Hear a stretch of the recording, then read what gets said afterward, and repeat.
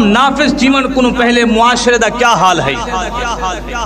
معاشرے دے وچ کیا بد تہذیبی ہے؟ عزت کونا ہوندی ہے؟ ایک ایک بندہ کئی کئی شادیاں کریں آئی مرضی دے مطابق چھوڑ ڈیونا، رکھ گھرنا۔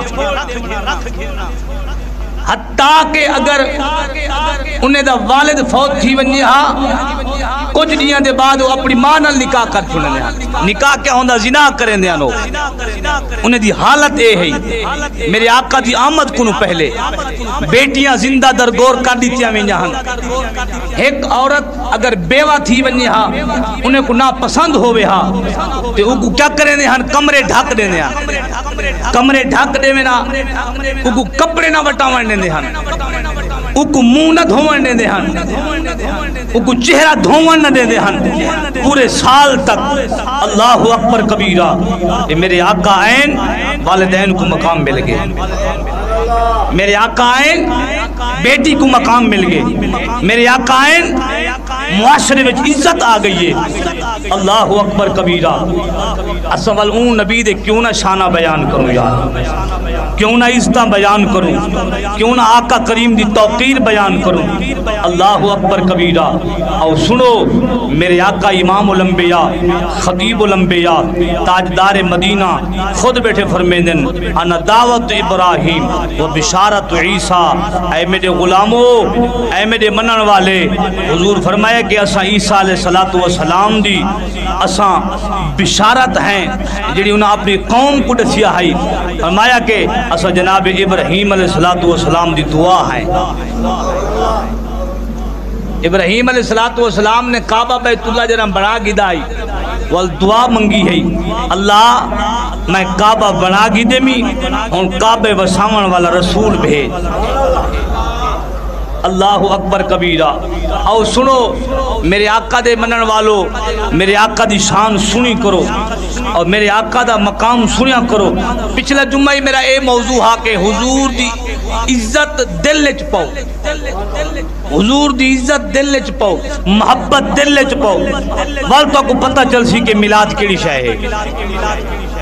ملاد دا کیا فائدہ تھی دے وال؟ اللہ اکبر کبیرہ۔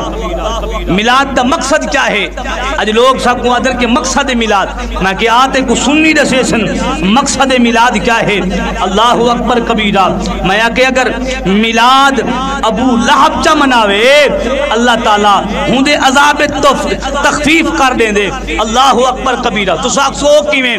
سن، میرے آقا امام الانبیاء، خطیب الانبیاء دی جنہ ولادت تھئی ہے نا۔ تے ابو لہب دی ایک لونڈی ہے۔ لونڈی ہے جنہ نہ ہے سویبیہ۔ اونا آئیے۔ ابو لہب نبی پاک دا سکا چاچا ہے۔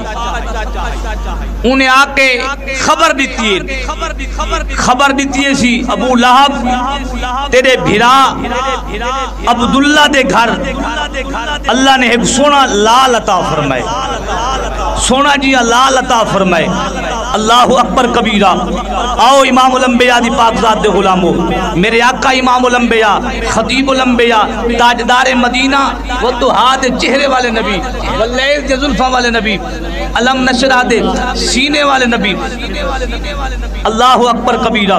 اور سنو، میرے آقا امام الانبیاء دی ولادت اگر ابو لہب کو ایڈسیا بنجے کہ تیرے گھر، تیرے بھرا دے گھر بیٹا جمعہ پہ انہیں ایک انگ انگل دا اشارہ کیتا ہے کہ ہمیں اگر ٹائم میں کوئی خوشخبری دیتی ہے، وانی میں تے کو ازاد کیتے می میں تے کو ازاد کیتے می اللہ اکبر کبیرہ، او سنو۔ میرے آقا امام الانبیاء، خطیب الانبیاء، تاجدار مدینہ۔ صحیح کر یاری۔ حضور سرور کائنات۔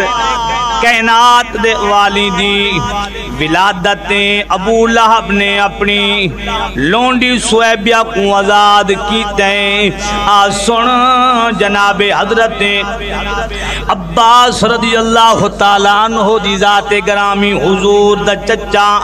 آپ آدن کے جدن ابو لہب مر گیا، کلمہ نصیب نہ تھیا ہنسی مردود تھی کہ مر گیا، میرے آقا دی شان قوت نہ من ونہا سی کافر تھی کہ مر گیا ہا جڈن جڈن گیا قبر دے وچ آپا دن میں خواب دے عالم وچ ول ڈٹھے می۔